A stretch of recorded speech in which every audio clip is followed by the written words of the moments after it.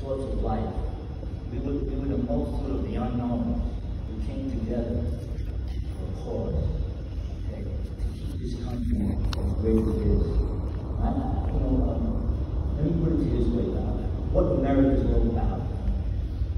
Like I said, people come from all, all, all ways of life, all, all ethnic groups, all different religions. If I was to pull a bunch of you up here right now, and we spill blood on this floor, okay, and then we went back to our seats, and I can tell you, I want you to come up and show me my blood, or show me hope, or push. There's no way you can do it. So that's what America is. We have the same color of blood. Don't ever forget that. Whether you're white, black, Spanish, Asian, we bleed red. And I learned that a long time ago. That you're not special.